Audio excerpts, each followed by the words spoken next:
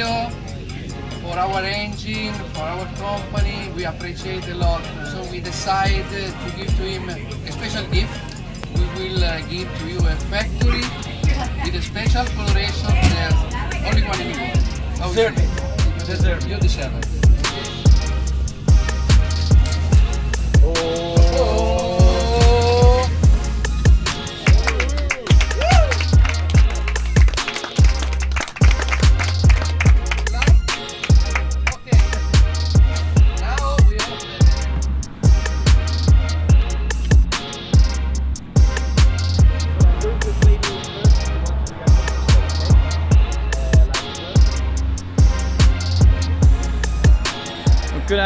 We're starting this one kind of late.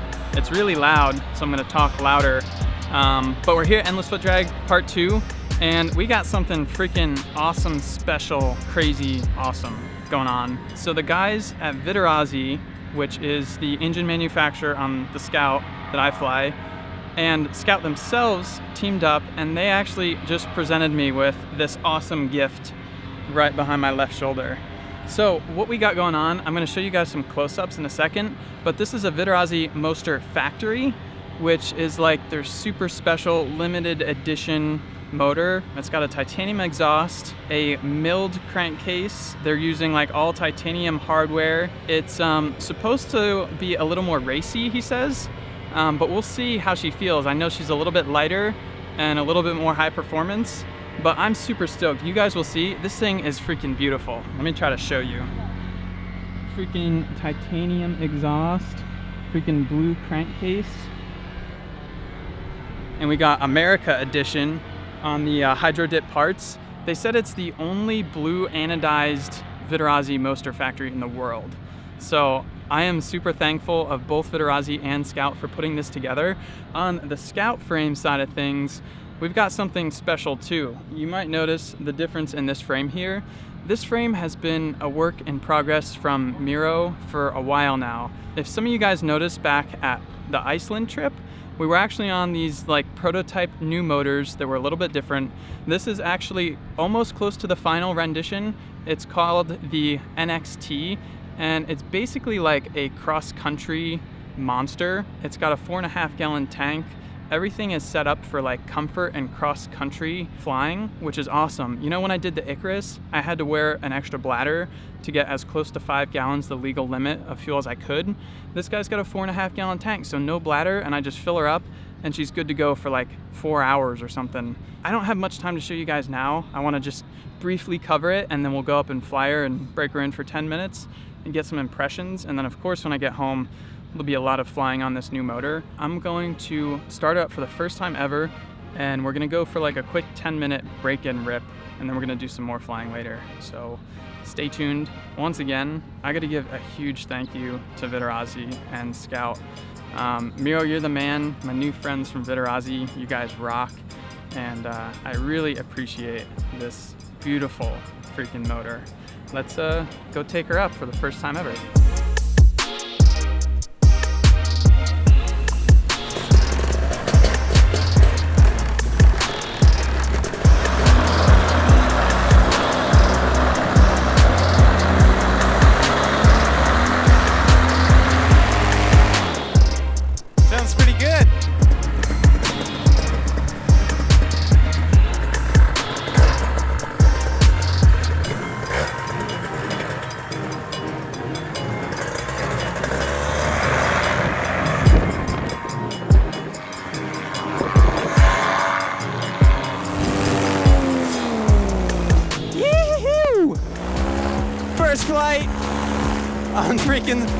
Scout Scout Machine Vittorazi Factory Edition. Totally rad. I don't know if you can hear, but the motor has a little bit of a different tone to it. It also has a different propeller on it. It's a, uh, a Helix, and it's apparently a lightweight version of the Helix. You know we gotta get a quick photo pass without colliding into a tandem. Just scooch in front of this guy, swing around this guy. It's absolute madness up here.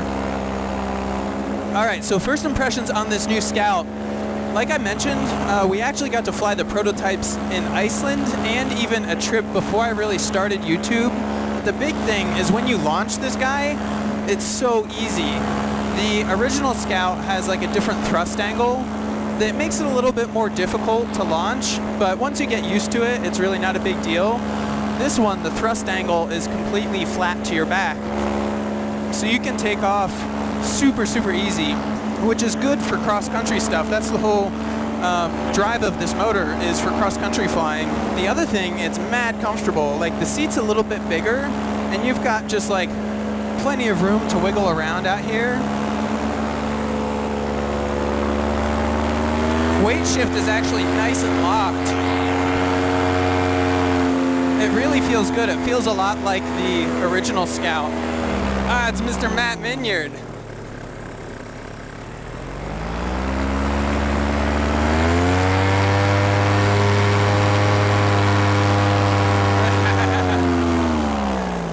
What's up, big guy? Freaking tandem mobile. Impressions on the motor, it feels great, super smooth. They were talking about the different uh, harmonics on this engine because they use different materials and different tolerances and everything. It feels mad smooth. Let's crank some turns.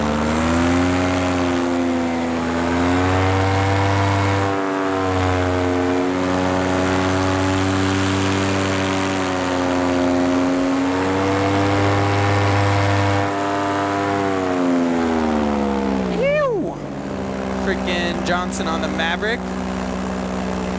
Coming in hot, brother.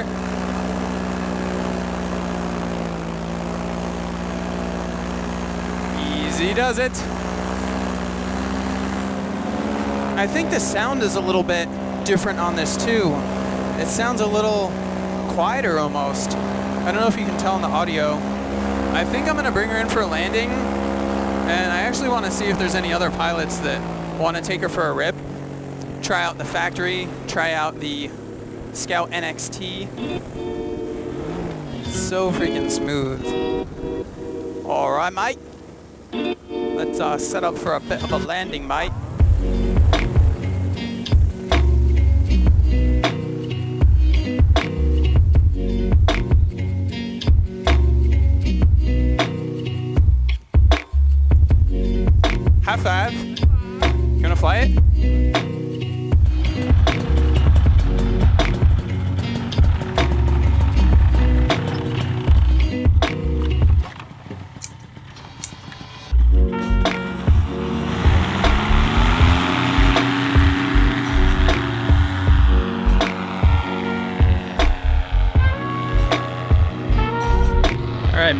Dorn Martin's taking her for a rip.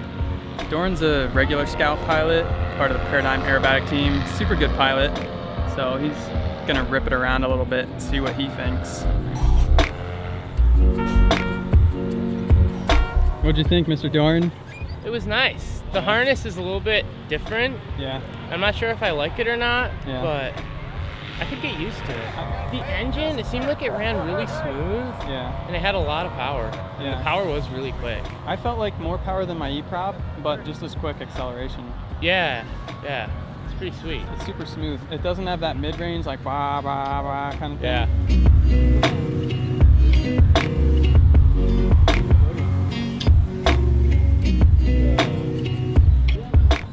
All right, man. So this is the new Atom 80. Yeah, the new one, just born, just born now because we developed in three years, and the, in the final we have one engine with uh, 10.5 kilograms, uh, 55 kilogram thrust, uh, born for beginners, born for people that have the first approach, uh, for the school of PPG, for the people that want to have a life uh, easy, don't want too much uh, weight on the Yeah. back. Uh, they want to be. They, it is a different way how to fly. This engine is special for lady, for uh, young guy, for skin guy, for one word that uh, right now have a difficult because all the engine are heavy and too much powerful. Yeah, that's the thing I'm stoked about. Like, the Moster Plus is my go-to engine, and it's Yeah. great for experienced guys or like heavy guys. But new beginners can kind of get themselves in trouble with that much thrust and weight. But this thing looks sweet, and I'm about to take it out for a flight. Yeah. So, uh, The real name of this uh, engine is Easy. yeah. Because it is easy in any way. Also, the maintenance is easy, the low consumption, everything is easy. If you test, you will love it, you never leave. Awesome, man. I'm gonna take her up for a rip. We'll see how it goes.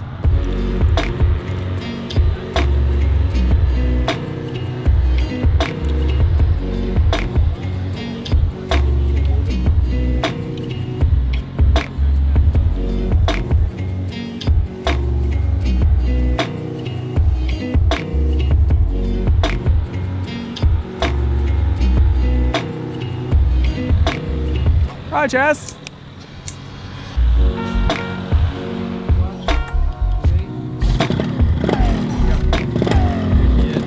One finger left-handed pull start. Dude,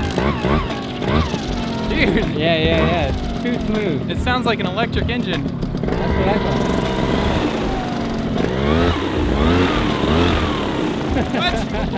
Too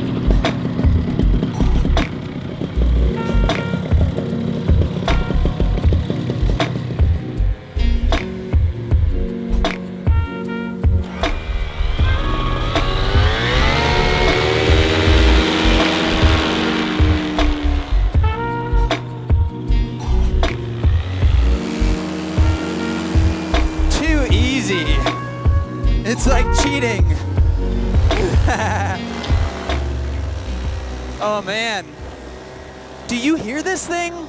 You can't hear this thing. It's too damn quiet and smooth. I don't even know that there's an engine on my back. We're just flying all the setups tonight.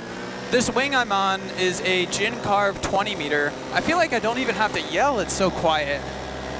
And uh, this is a wing I've wanted to fly for a while.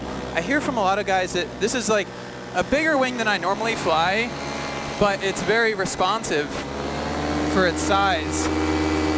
So far, I kind of agree with that. We'll rip it out a little bit more later. But check out this motor. 80 cc's. Here I'm at cruise. Let's see how she climbs. Oh yeah! I can rock with that. I mean, this is a, a 20 meter wing, so it's not going to require as much to climb. But that's very respectable.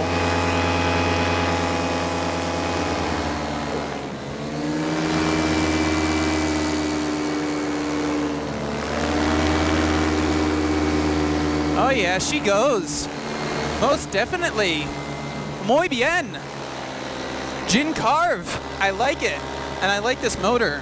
The interesting thing about what they are uh, doing with this motor, they're not really trying to like replace any other small displacement motors. They just wanted to make something that was beginner friendly, perfect for the guy that wants to get into the sport and might be a smaller, lighter pilot and is maybe intimidated by a heavy motor and a lot of power. Like you saw, even down to the starting procedure, I pull started it with my left index finger. That's like how easy it is and what they've tried to focus on. They even said uh, the silencer they made specifically with a double silencer system so that it's quieter for like noise pollution in schools and it's like less intimidating and all that. But it's got respectable power.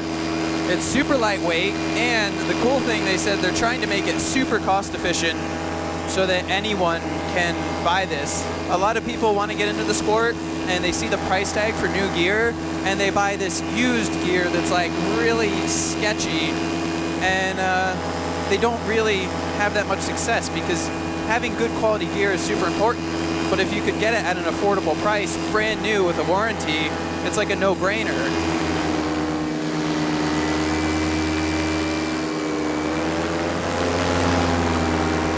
Wow.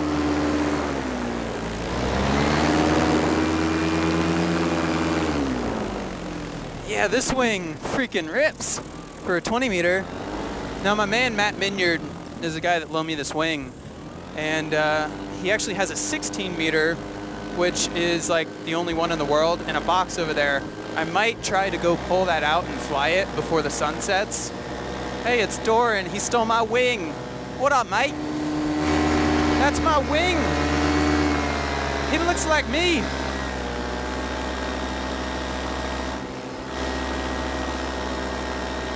Boop. Boop, boop. Freaking shred it. That's the new motor too. Doran's killing it. He's breaking it in for me. Man, this motor is so quiet and so smooth, I literally don't feel like any vibration at any throttle range. He's pulling so much brake to slow down to my speed.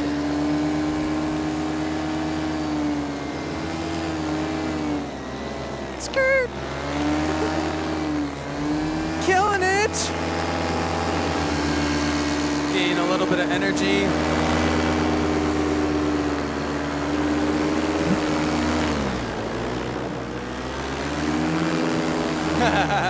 that was a freaking slow motion barrel roll. All right, I think I'm gonna bring her in for landing. You can't even hear this thing at idle. It's just wind noise and this little microwave sound. It's like.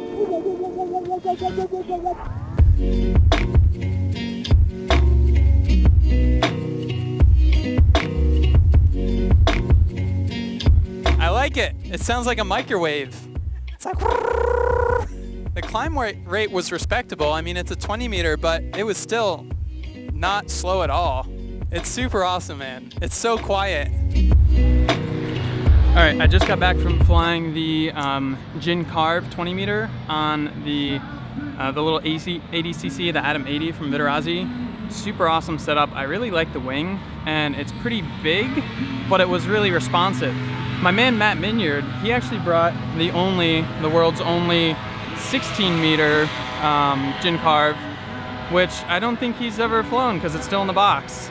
And uh, I mean, obviously. So I'm gonna pull it out of the box. I hope Matt doesn't mind. I think he's up flying tandems right now, but we got like 15 more minutes of sunlight. So I wanna rip her out of the box and we'll go for a flight and uh, see how she flies.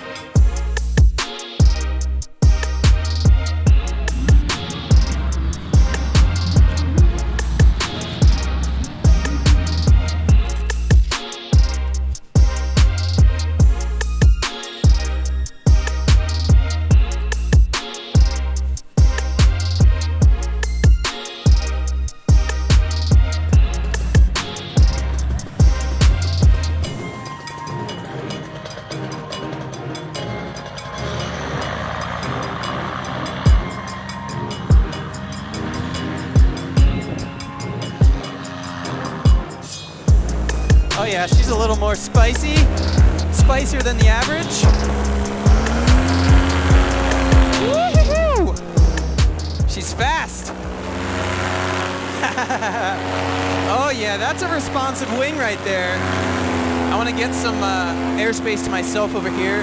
Tried a couple mild wing overs. We'll see how she goes. No joke, I feel like I'm climbing really fast. I don't really know if it's the wing or the motor, but I like it. I'm gonna try some nice mild wing overs. See how she plays.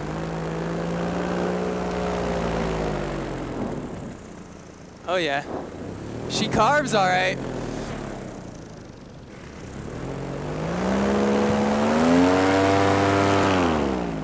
And barrel rolls pretty well too. Right next to our tandem. Get a little crazy real quick.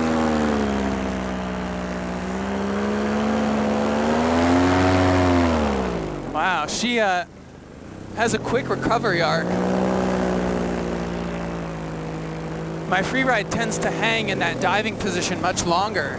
This thing, like, you gotta almost time it faster because it's already hooking out of the uh, the arc. Hey, it's Matt Minyard. I gotta get down with him. he asked me to unbox this wing and check it out, and I feel freaking privileged to get the first rip on her. I'm sad he wasn't there to bring her out of the box, but here he is now. Yeah, dude.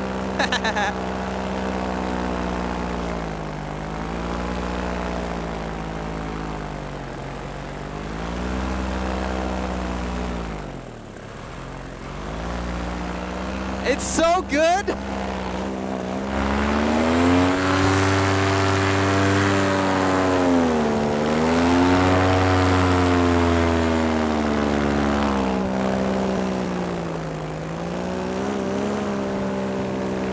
Wow, this thing is fun. In terms of like my free ride, which I fly most often now, it has a much quicker recovery arc. It's got maybe a little bit more brake pressure. It might almost be faster, which is obscene. Dude, look at this thing. I'm not normally like that comfortable right away on a new wing, but look at this thing. It just freaking tears it up. Like it's no big deal.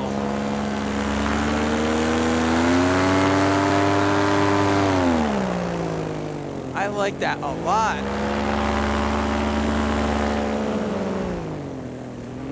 This thing is on rails though.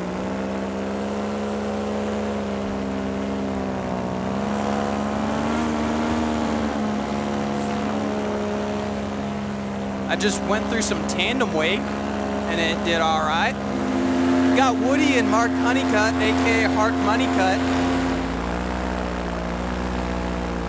Boop. Boop, boop. Boop, boop, boop, boop. Just gracefully touching tips with Mr. Mark Honeycutt. Alright, I think I'm gonna get in the laning pattern and come in. I'd really like to see if anyone else wants to try this beast out. I'm impressed. It's just so solid on rails. It's just wake everywhere.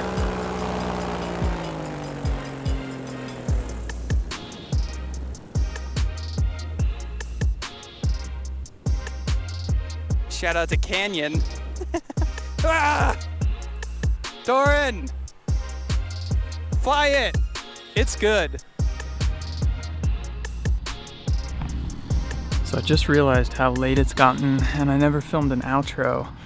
But uh, we just cleaned up and hung out for a while, ate some dinner. Shout out to the Martin family for feeding us. Today was an action packed day. We started it late, got the new Scout machine with the Moster Factory Edition. I was thinking about it a little more. What I really want to do with that motor is just do like more Icarus kind of stuff. Go out and fly really far. I'm super stoked on the factory, super stoked on the new Scout NXT frame. Um, I'm sure I mentioned at some point, it's not at all replacing the old Scout, but it's a new edition specifically geared towards cross country flying like that. So I'm stoked to do some cross country flying with it, and uh, I'm sure you guys will see more of it in the future. Once again, got to give another huge thank you to Scout and Vittorazi for teaming up and gifting me that awesome paramotor. Other than that, we flew a bunch of new wings. The new Vittorazi Atom 80 was super awesome. After that, we flew the freaking Matt Minyard 16 meter um, rocket ship. That was tight. I like that wing. I've never felt like that comfortable on a brand new wing, but that thing I could just tear around and feel real comfortable on. So lots of thank yous to people today because it was an exceptional day of trying out different gear and new things all around. Huge thank you to Canyon, my main Canyon from Team Fly Halo for helping me out with the gear and uh, filming and everything. So uh, yeah, I'm gonna stop being weird and sitting by this taxi light. I hope you guys enjoyed today's episode. It was completely different, unique, all over the place, trying new stuff. But uh, smash that like button if you liked it, and hit the subscribe button if you uh, want to stick around for future stuff. I'll see you guys in the next one. Till then, peace out.